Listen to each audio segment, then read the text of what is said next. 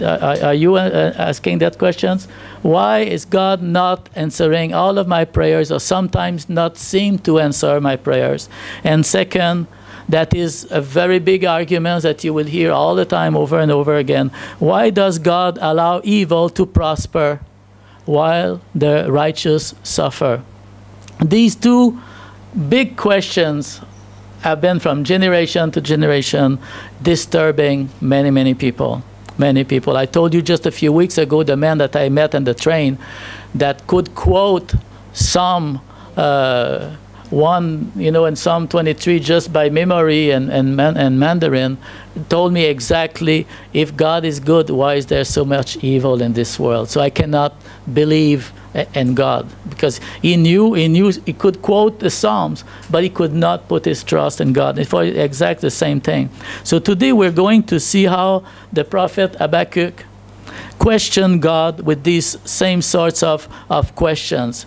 And go to next slides, Habakkuk 1, 1 to 4. And this is how the book starts. The prophecy or the burden the, the word prophecy here and the King James and other old, older versions says the burden. So the prophecy or the message that he has received was very heavy. It was like a burden, like very heavy on him the, that the prophet saw. How long, Lord, must I call for help, but you do not listen? Or cry out to you, violence, but you do not save? Why do you make me look at injustice? Why do you idly look at wrongdoing. In other words, you're doing nothing. Destructions and violence are before me. Therefore, the law is paralyzed. This is what we see in this world and our society right now. Justice never seems to prevail. The wicked surrounds or outnumbers the righteous so that justice is perverted. So when we look at the prophet Habakkuk, if you read his books, it's short, three chapters. He's a minor prophet. But you will find out something unique about him. He's not our typical prophet. Why, why do I say that? Because usually, as we know, prophets are declaring out loud the message of the Lord to the people. He is speaking for God against evil in the world. But at this point in the text, Habakkuk is not declaring anything, he's questioning God. He's, he's criticizing God. He's questioning God. He's kind of accusing God in, in, a way. He's not declaring to you the counsel of God. He's turning to God and he doesn't understand and he's not very happy with God. He asked the Lord how long evil would be allowed to go unpunished. And that's why sometimes uh, Habakkuk is called the, the, the doubting Thomas of the Old Testament because he approached God with a lot of questions. In verse 1 to 4, we find phrases with quite an accusing tone, and you will see that the questions here. You do not listen, you do not save. Why do you make me look at this all injustice? And justice never prevails. So that's that's very uh, accusing tone that we can see when he addressed God. The prophet cannot understand that God does not punish evil. Why is evil going on in our society. So he's not able to accept that. Habakkuk was frustrated not only over the wickedness of his society, but mainly over the fact that God was being slow to settle these, these unjust situation. And we feel like that too. Are we honest this morning? I think many of us this morning, we are, we are impatient and we see things, especially when it comes against, against us. Habakkuk chapter 1, verse 5 to 6. Next slide. Look at the nation and watch and be utterly amazed. Now God is talking to him. For I am going to do something in your days. Okay, so God was not deaf. God is, was listening. And God was working. But Habakkuk didn't know that. So when you are praying, be careful how you're praying. God may, may seems to be slow, God may seems to not be listening or not be working, but God has been listening and God has been uh, working all along. He says, I'm going to do something and you will be utterly amazed by what I'm going, I'm going to do. And this is what God says I'm going to do something in your days that you would not believe even if I was told you. And sometimes this is, this is the reason why God does not tell us everything because we could not either accept it, we could not comprehend why is God acting in this way instead of uh, the way that we, we thought he should have. I am raising up the Babylonians, that ruthless and impetuous people. Oh, that is what will make him utterly amazed. The people of Judah were wicked. They were violence to the land, crime, lies, the justice was perverted. So God, Uh, Habakkuk was concerned and wanted God to deal with the issues of unrighteousness and justice in his society and among his people. But now God says, hey, I'm going to show you what I'm going to do. I'm going to punish this wickedness in your society by a, a, foreign nation that is coming over and will destroy everything and take them in captivity. And again, Habakkuk is really more frustrated now because that's not what he was hoping for. He was hoping maybe that God would sort it out, uh, remove some leaders, uh, bring a revival in the land. Instead, he's going to bring a more wicked people than the people of Israel to come and deal with these issues, and he is not able to understand that. The Lord will use the Babylonian to punish uh, Judea. In other words, God says to Habakkuk, Habakkuk, you accuse me of keeping silence, but I have not been silent. I have my own agenda. But the answer is so different from what you expect that you will not even recognize it or believe it when I tell you. And that is how many times we feel. God says, I'm going to do something. I am raising up the Babylonians. It's not that God did not have a plan. It's not that God was not doing anything. God was working behind the scene. And he is always much in charge of history. He was he knew exactly what to do. He knew what was happening in the land. He was not too slow, he was not too late. Because the Bible tells us in the New Testament that it is to our advantage that God is patient. God always, over and over, and we have seen it in previous message, has sent his prophet day in, day out, over generation, hundreds of years. So God has been patient trying to bring back his people to himself. So when you ask your qu difficult questions to God, are you ready to hear God's unexpected answers sometimes? Or you only are prepared to hear God's answer the way you want Him to answer? I, I feel like that. When I pray to God, I'm asking Him something, and I already know what I wish Him to do. And I'm expecting Him to do it because I've been asking Him, because I'm His child, because, uh, I, because I know what I want. And, and you are the same too. But God may have something else in mind. So understand that when God answers our prayers in an unexpected way, we need to trust Him. And this is what we are going to learn. Let's go to the next slide verse 12. The next section is very important because it will tell us. This book is small, but has a lot of principle for us today that we can learn. Uh, it will tell us how to handle this kind of problem, the difficulty to answer, to, to recognize God's answer, God's working that are unusual to us. What do you do when you are confronted with this sort of crisis to your faith? The, the things that you feel that God is not listening, God is not answering, or He is answering in a way that is totally contrary to what you were expecting Him. So let's look at what we, we read in verse 12. God, Habakkuk is now responding to God. Are you not from everlasting, O Lord my God, my Holy One? We will not die, O Lord. You have appointed the Chaldeans to execute your judgment, and you, O rock, have established them to correct and chastise. But your eyes are too pure to look on evil. You cannot tolerate wrongdoing. Why then do you tolerate the treacherous? Why are you silent while the wicked swallow up those more righteous than themselves? Well, again, we have many questions in verse 12, 13, including in verse 17, and you see it uh, in the next click uh, here. Lord, are you not from everlasting? You, you know history. You've been moving in the past through the, to the, the, the history of your people, Israel. You have been saving them. Lord, you can do it again. So why then do you tolerate the treacherous? Why do you keep silent? Nothing is happening.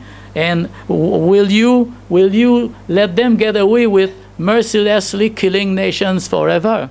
And that is why in verse 13 he says, Your eyes are too pure to look on evil. God doesn't tolerate evil. God is just. God is holy. That is what he says. You are holy means absence of evil. It's a total integrity. He is pure. He is holy and he is perfectly righteous. So you cannot let it go on and go on like this. So why is it happening like this? So for us, we need to learn from this verse 12 and 13. This is important that we approach God in a similar manner. Why? Because when we go through confusions and we don't know, we're out of our resources, we're out of time, and we don't know how to get out of this crisis in our faith. Look at what uh, Habakkuk has done and do the same thing. Recall the things that you know about God. You know God.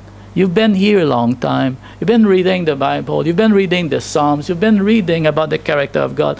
You've maybe taken the foundation classes. So you know a lot of truth about God. So recall the things that you know about God's character. Because all the names that he used here are declaration of how he perceived the character of God. Don't try to solve the problem when you are emotionally troubled. This is a very good advice that was given to me in the past. Because when you are high in emotion or low in emotion, depressed or aggressively angry, and you want to act right now, you will make a worse mistake. You will make your situation worse. Never act, never react when you are high or low emotionally. Don't try to solve. Back away from the problem. For me, sometimes when I feel very tense over something, I feel pressure, I feel something is unfair, usually I tell myself a night of sleep will do me good. I will take at least that one night. I'm not trying to think about it. I'm going to sleep that night. And tomorrow morning, I will think about it again. And usually, it helps. Uh, it helps me a lot. Go back to what you know about God and His character from the revelation of scriptures and from your own life experience. And don't let fear paralyze you. Don't let fear, don't let depression, don't let negative feeling take over. Verse 12 says, Lord means sovereign. You are sovereign. You are above. You are the most high. You are almighty. My God, my Holy One. It's me. It's personal. We have that relationship together. Holy One, you are you have this absolute sense of justice. My rock indicate protection, safety, and the strength of, of the law that is declared. So Habakkuk also recalled that God is eternal, everlasting. God has always been part of history. God has always been in control of his world. God has always been continuing to fulfill his plan according to his agenda. And we don't see that happening.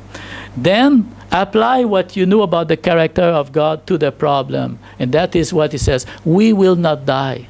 We will not die because I know how God you are. You're my rock. You are the only one. Your eyes are too pure. You will not let evil destroy us forever. We will not die. And this is a declaration of his faith. Let's go next.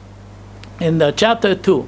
Now Habakkuk is going to wait to let God sort out this confusion that he has. Habakkuk chapter 2, verse 1 to 4. I will take my stand at my watchpost and station myself on the tower, and I will look out to see, or I will wait to see what he will say to me or in me, and what I will answer concerning my complaint. I've been complaining to God, now I'm stepping back. I'm going to my watch post tower, going to retire by myself, no other people, no other voice, no other activities. I'm going alone with God, and I'm going to go, stay there. I am determined. I'm going to stay there until the Lord speak to me. I know some pastors that have been doing that. Going to a log cabin. I have some friends, they went to a log cabin for a number of days until they had received some, some answers to their prayers. I have done that also in the past. Before I, I launch out to mission with my family, I took 40 days out. 40 days. I, wa I was fasting, I was praying, I spent nights in prayer. I even, I told you in the past, I went to spend a night in the mountain top in the dark of the forest alone with God. I really, I was determined to make sure I was hearing from the Lord. And many times I go in the forest, I go in the uh, water reservoir near Fanling. I go to certain place where I just hear the sound of nature. I'm by myself and I speak to God and I ask God to uh, intervene. And my life has been impacted in a time such as this. I told you at one point, a year and a half after I came to Hong Kong, I had a problem with one of my daughter and I was really confused. Is it because we have moved the family to Hong Kong that she is rebelling against you, Lord? Should we return to Canada? Should we stay here? What, what, what am I to do? I, am the leader of the family, so I'm, what am I to do? That is exactly what I have done. I went on the watch post. I went to fast and pray I was preaching to a church in another city. I confided in the friends, the, the pastors and his wife about this. They prayed with me. And every day when I was not preaching, I was going aside in the forest alone with God. And twice in two days, one day and the next day, God spoke to me very clearly I called my wife and I says, I know what we are to do. There was no question asked after that. So that is what he says. I am determined. He says, I will take my stand. I will st stay there and I will wait to hear from the Lord. So that what you, you would do. This is very important. This is repeated. I will. I will. I want to. And if you want to hear from God, if you want to understand God, you need to follow his advice. This is a difficult time. He was confused. He's a man of God who knows God, but he still has a lot of things he does not understand or cannot agree. And some of us, we all go through these seasons in our lives. Uh, maybe some of you are even in such a season. This is one of the most important principles for believers today, and it is so difficult to practice that today because our, our time, our agendas, our work, the pressures, our, our, our dear little mobile phones and everything, they are always notifying us, look at this, look at this Facebook, your friend has texted you, and uh, we are always busy reading something, listening to something. We are never uh, in the pure. Imagine the contrast with David when he was young and he was with the sheep on the mountain for his father. The, the difference of, of, uh, of lifestyle that David would have living alone with the sheep, quiet in nature, and he could think about God and he could receive and listen and he could pray and express himself. That's why we have so many uh, wonderful uh, songs and psalms from him. He's been like enriched by this uh, experience with God. He took the time, he had the time. And for us, we are running and we are running and we are running and we have no time to stay put with the Lord. And that is what this man says. I will go up on the tower and I will be the watchman. I will watch for God. I will wait until He speak to me.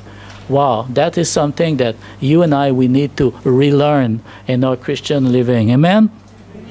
We may call it quiet time or devotions or some other term or daily communion with God, but this is crucial for every Christian. If you don't have it, you will always be confused. You will never understand anything about what God is doing, the working, the mysterious ways of the Lord, and the agendas of the world of the Lord. You, we will not understand. When you bring a problem to God and explain it all to Him in prayer, do you immediately get up and start worrying about it again? You bring it to God, says, God, please help me with this. And then, what am I going to do now? What am I going to do next? You know, like, yes. So we, we do that. We, we do that. But then look at verse 2, how it starts. And the Lord answers me. This is wonderful. This is so encouraging. There was difficult questions. The, the specific working of the Lord, the vision, what God was going to fulfill, that was like unexpected, that was like to our logic unacceptable but he could understand the mind of the Lord by staying put alone with the Lord. And this is something, this is precious for us this morning to hear that and to be reminded of that. And verse 2 and 3, it suggests that the message that Habakkuk was about to hear is very important. If you look down at some of the expression, write down the vision, make it plain, the, the herald will take it and he will run it, he will proclaim the message. And the appointed time speaks of the end time. It is not a lie, it will certainly come. And these are strong statements that the Lord is telling him. These phrases express urgency and certainty. God is going to do something for you. God has a plan for you. God has a plan for us. God has a plan for this time in which we live. He is working, He is fulfilling His big, big agenda for the end times. God is with us. He is the master of history. And this is what we are reminded about this morning. Though God's vision would not be fulfilled soon, like it says here, it would not delay. Says it will not be fulfilled soon, but it will be a new generation. It will not delay. It will also be something to do with, with the end. And this tells us that God always chose the perfect time. Can you say that? God chose the perfect time according to his own agenda. He has an agenda. And it, and it tells Habakkuk and us, wait for God's agenda. And we are not very good in waiting. Then God gives us the most life transforming verse of the Bible, which from this little invisible book of the Old Testament is quoted and has transformed more lives in the New Testament than, than ever. And it has been quoted and it has been creating a fire in the heart of Martin Luther. The just shall live by faith. You see, and, and, and a gloomy time, and a time of confusion, this is the answer of God. You, the righteous, live, continue to live the righteous life. Continue to live by faith. Continue to put your trust in the Lord regardless of whatever. This is what God has as his message from generation to generation. When you and I are going through tough time, the just is to live by faith, is going to continue to live the righteous life, the upright life that God uh, wants for all of us. This is the greatest the verse for bringing revival throughout history. In Romans 1:17, it stress the righteous. The righteous. I am not ashamed of the gospel of Jesus Christ. It's the power for the salvation of whoever um, believes. For the, the righteous shall live by faith. The righteousness come from that time. How the righteous receive the message of the gospel. In Hebrew 10, verse 36 to 39, it stress shall live. It is we are not of those who withdraw or, or, step back or shrink back. We are of those who keep the faith until the end. That's the, the context of this. Because the, the righteous shall go on living. It's the long haul. It's not like a, just a short time. For all of his life, the righteous shall continue to persevere. The, the righteous will endure. The righteous will go on with his faith. That's the context in Hebrew. And then Gal Galatians chapter 3, verse 10 to 14 is, is the, the contradictions or the contrast between being justified by observing the law and rituals. No one will be justified by that, but the righteous will be justified by faith. So this one stress faith, the importance of believing to receive the blessing of Abraham in Galatians uh, chapter 3. So whatever we go through, God is telling to you and to me, the righteous is the person that is characterized by living by faith, walking by faith, making decision by faith, continuing to trust no matter what. He keeps peace. He keeps, and also in this text, I did not put it because of time, but there is a big uh, uh, descriptions of the Chaldeans or the Babylonians. They are greedy, they are arrogant, They are fierce, they are aggressive, they destroy everything, they destroy the trees, they destroy nature, they destroy people, and this is what they take everything for themselves. This is a comparison. If you look at verse 4, you, you will see that the, the, how, how verse 4 is, is being read. Behold, his soul is puffed up, talking about the, the, the Babylonians. It is not upright within him, but the righteous shall live by faith. There's a big contradiction between the righteous and lifestyle. The, the, those who do not believe in the Lord, they become, you know, like very independent, very arrogant. They take matters into their own hand. They seek their own benefit. They don't consider other people. They, have, they are abusive. They go on to win everything for themselves. The righteous shall live by faith. The righteous lives uprightly the righteous live for the honor of the Lord. The righteous, even though he's going through the valley, because this is the time that God is allowing us to go through, he is okay with that. He will continue on to trust in the Lord. Hallelujah. There are only two attitudes by which we can face life. Either you will depend upon God, or you will depend upon your own ability and reason out everything and be angry and aggressive. Habakkuk was shown that at a time of extreme hardship that was coming, God told him, the just shall live by faith.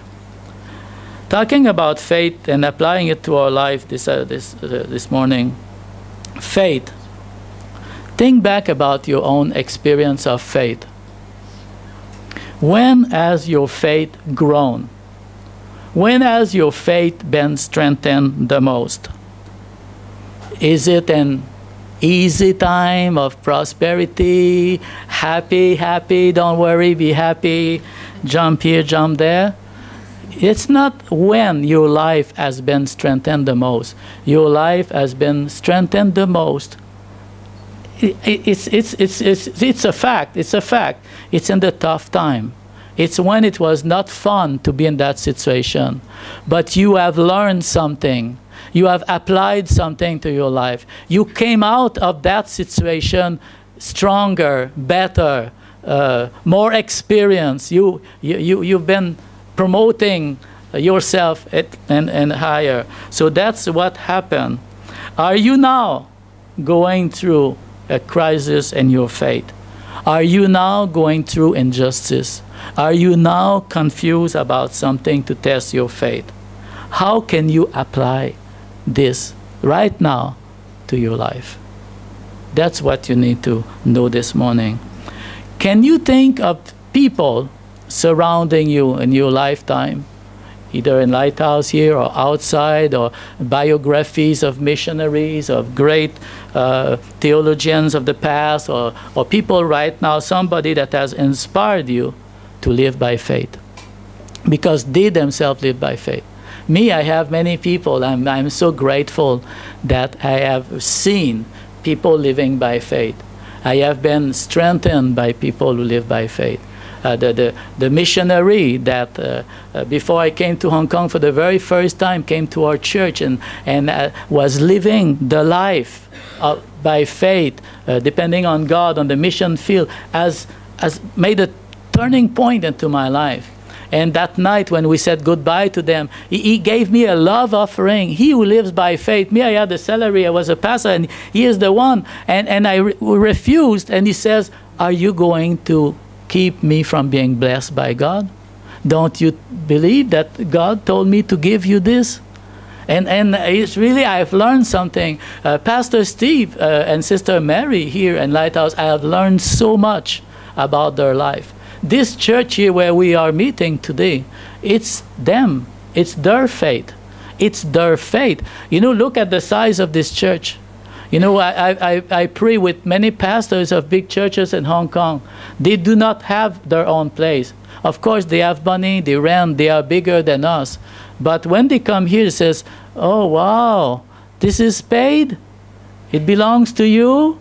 Yes, we have no debts. We have no debts. We have a, a sanctuary. We have a place of peace. We have a place of meeting that God provided to us here in Lighthouse. We are not rich. We are not big. But God has done a miracle. But somebody needed to have the vision and the faith. And Pastor Steve and Sister Mary had that faith, and they communicated to, to you who were there at the beginning, and they, we, we are continuing to walk in their footsteps. And I remember sometimes when I was going through my own family crisis, how many people here in Hong Kong. I remember Pastor Steve, Sister Mary, uh, Aaron Rodganger, missionary to China, uh, and there were a few people, uh, even the, the, the former uh, principal of uh, Christian Alliance uh, School where my children were going, people who came into our life and through their faith, their vision, their dependence of God has created my faith to hold on to the Lord. And you have people like that and, and, to, and to your whole life. Amen? Amen? And we need to think about these things because it is important. Chapter 2 ends up with another wonderful principle. But the Lord is and is holy temple let all the earth keep silence before him. Isn't that great? What a wonderful man of God Habakkuk was. How he was intimate with the Lord. And all of this mess up, this old chapter was like big, big problems. Woe unto the arrogant and all of this. The big chapter two is like declaring a lot of things. But it finished with this statement. But in the midst of all of this, the Lord is on his holy temple. Let all the earth keep silent before him. Do you think it is useful to keep silent before the Lord? Instead of, you know, complaining and crying out in tough times when we're confused. What setting do you have in your daily routine to provide time of silence, to enjoy silence before the Lord? Do you have that? This is so beneficial because in times of silence, you can hear him speak. You know, many times we, we read the Bible and we, when you pray, Amen, Lord, God, and more, God, God. And then, and God says here, just keep silent sometimes. It's also very beneficial. When you pray, spend a few minutes sitting in silence. Try to practice that this week. Soak up the majesty of God. Let Him maybe speak love into your life. You know, when you're waiting for an appointment, close your eyes, quiet yourself, and try to focus on God. Exercise your mind and your heart to do certain exercises. Sometimes you need to force yourself to do these things because it's not you know, natural to do this. While doing even manual chores in your daily life, quiet your inner thoughts. Just focus on God's great ability. You know, the mother of John Wesley, she had many children and she was a very busy mother. She would take her apron, put it on over her head. She did not run away from her daily task. She just found God doing her task. To just take her apron, put it over her head. Oh God, help me, you know, cook this omelette or something. Habakkuk prays and trusts the Lord. Chapter 3, verse 1 and 2.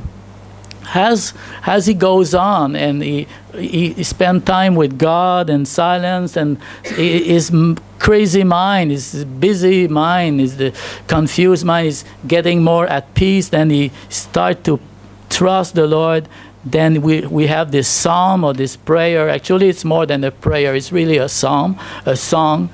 I have heard all about you, Lord, and this time of our deep need, help us or revive your work again as you did in years gone by. And in your anger or in your wrath, remember your mercy. And this particular chapters, you will find the word wrath, anger, and angry five times and and the following and the following words. But in his prayer he says lord now I, I get it. You are going to do something against evil. But as you punish evil please remember your your mercy because we depend upon mercy. Imagine if god would not have been merciful to us. Mercy is not being treated as we deserve Imagine, imagine what it would be. As the prophet thinks of all this, after he heard from God, after he focused on the great love of God, he comes to this wonderful conclusion that we will go on the next slide And we're finishing with that. Habakkuk chapter 3, verse 16 to 19. This is such a wonderful text. I, I hear, and this is how physically he felt before the majesty of God. He was in, in awe of before the Lord. I hear, my body trembles, my lips quiver at the sound. Rottenness enters into my bones. My legs tremble beneath me. Yet I will quietly wait for the day of trouble because this is what God says it was coming to come upon people who invade us. Though the fig tree should not blossom, nor fruit be on the vines, the produce of the olive fail, and the fields yield no food. The flock be cut off from the fold, and there be no herd in the stalls. Yet I will, yet, yet, yet I will rejoice. I will take joy in the God of my salvation. And I finish with this verse from verse 19, the Amplified Version. The Lord God is my strength, my source of courage. He has made my feet steady and sure, like hinds' feet, and makes me walk forward with spiritual confidence in my high places of challenge and responsibility. And this is so wonderful after get, getting to know the context where we started and where we are finishing with connecting with God and in the same way as he has. Despite the questions the prophet started, you know, remember at the beginning was quite ac accusative. It was a kind of reproaching God for not doing anything. And now at the end, he comes out, this is the conclusion of his meeting with God. This is his conclusion of spending time in silence, of, of his determination to go alone and on the tower and watch for the Lord without any other distractions. Lord, I'm not moving from here until you speak into, into my life. And he rejoiced in the salvation. So, question this morning, how can we learn to trust God like the prophet Habakkuk? How can you do it this morning. How can I do it? Habakkuk commits to trust and praise God regardless of external circumstances. So my happiness does not depend upon my wife, my bank account, other people around me, the joyful atmosphere that we can have with friends, or success in my life, a promotion. My joy should not depend based on that. Of course, these are additions, additional blessings. We, we enjoy it. We are grateful for that. We are looking for that. But basically, my life depends much more than that. I am an eternal being. I'm going heavenward to be with Jesus. So I have many more important things. He's, de he's describing economic disaster. No fruit, no grapes, no olives, no sheep, yet I will rejoice in the Lord. And this is sometimes what strike me when we go to mission fields where the, the, our brothers and our sisters have so much less resources than us, and how we are often so encouraged to see their smile, their joy, their zeal, their, their effectiveness in the Lord, because they have been practicing what Habakkuk has been teaching us this morning. They spend time alone with God. They depend. They have learned that their success is not based on the amount of resources that they have at their disposal. It's not depend about the speed of their internet connection. It doesn't depend upon all of these things. But they have something much more important. Habakkuk's joy was not dependent on physical blessing. He found joy in his salvation. Remember, Jesus tells us something similar. Rejoice that your names are written in the book of the Lamb. Rejoice about your names being written there. This is the joy you should have. Because if you have your name there, anything else really doesn't matter because the time we live on earth is not to be compared with the eternal time that we will spend with the Lord. Rejoice that your names are written. Habakkuk recognized God as the strength, the one who gives uh, inner, inner strength. He empowered him to go through any kind of circumstance. That's what it means. The just shall live by faith. There is the strength of God inside that enables us to go on, even though when it is so difficult. Like Habakkuk, we can choose to praise God in the face of anything. Amen.